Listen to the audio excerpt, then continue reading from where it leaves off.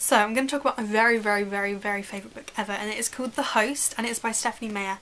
Now, don't be put off because that's a lady who did Twilight books because this book is a million times better. I did enjoy the Twilight books, I didn't enjoy the films as much, but I read them when I was really young so I don't know if I'd still like them now. This is called The Host anyway. Um, it's a pretty hefty book, it's 617 pages, which is fairly long unless you really love reading but I picked it up the first time when I was 13 or 14, read it end to end, one day, it was that brilliant. I think what I like most about this book is the emotional connection you get with the characters. It's unlike any book I have ever read in my life. I mean, most books, you know, they bring you quite close to tears, but you don't go over the edge. This book had me physically sobbing.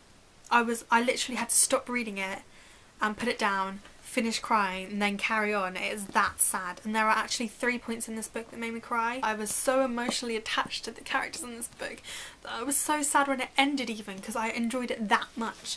Um, I'm not going to tell you what happens because if I tell you and you want to read it then you're going to be like, oh, she would have told me like what was going to happen. But just trust me on this. This is one of the best books I think ever in my opinion. I've loved it. I've read it three times and anyone who knows me knows, oh god, that I don't actually read books more than once. I can't do it. I feel like they drag the second time.